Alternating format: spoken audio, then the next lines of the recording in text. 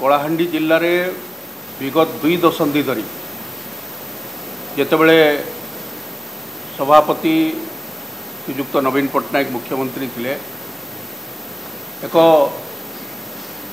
କଳାହାଣ୍ଡି ଜିଲ୍ଲାର ବିକାଶ ସହିତ କଳାହାଣ୍ଡି ଜିଲ୍ଲାର ପରିବର୍ତ୍ତନ ମଧ୍ୟ ବହୁତ ଘଟିଛି। ସବୁ କ୍ଷେତ୍ରରେ ସାମଗ୍ରିକ କ୍ଷେତ୍ରରେ ସେ ଜଳସେଚନ କ୍ଷେତ୍ର ହେଉ ଶିକ୍ଷା କ୍ଷେତ୍ର ହେଉ ଗମନାଗମନ କ୍ଷେତ୍ର ହେଉ ଉଚ୍ଚଶିକ୍ଷା କ୍ଷେତ୍ର ହେଉ ସବୁ କ୍ଷେତ୍ରରେ ପରିବର୍ତ୍ତନ ହେଇଛି।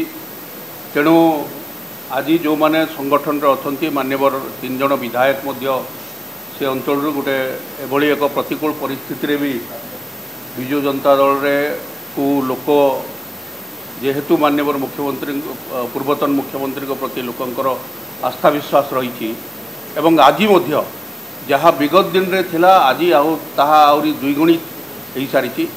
ତେଣୁ କଳାହାଣ୍ଡି ଜିଲ୍ଲାର ସଂଗଠନ ସୁଦୃଢ଼ ଅଛି। ଆଗାମୀ ଦିନରେ କଳାହାଣ୍ଡି ଜିଲ୍ଲାରେ ଯାହା ସବୁ ନିର୍ବାଚନ ହେବ ସେ ପଞ୍ଚାୟତ ନିର୍ବାଚନ ହେଉ କିମ୍ବା ଜିଲ୍ଲା ପରିଷଦ ନିର୍ବାଚନ ହେଉ କିମ୍ବା ସଂଗଠନର କଥା କୁହନ୍ତୁ କଳାହାଣ୍ଡି ଜିଲ୍ଲା ସଂଗଠନ କ୍ଷେତ୍ରରେ ବିଜୁ ଜନତା ଦଳ ସୁଦୃଢ଼ ଅଛି। ଆମେ ସେଇଥିପାଇଁ ମାନ ଆମ ଦଳର ସଭାପତିଙ୍କୁ ଧନ୍ୟବାଦ ଦେଲୁ ଏବଂ ସମସ୍ତେ ଯେଉଁମାନେ ଯେହେତୁ ନିର୍ବାଚନ ପରବର୍ତ୍ତୀ ବୈଠକ ଥିଲା ଯେଉଁମାନଙ୍କ ମନରେ ସଂଗଠନ ସହିତ ଜଡ଼ିତ ଯାହା ସବୁ ଥିଲା କଥା କହିବାର ଥିଲା ସେ ସଭାପତିଙ୍କୁ କହିଲେ।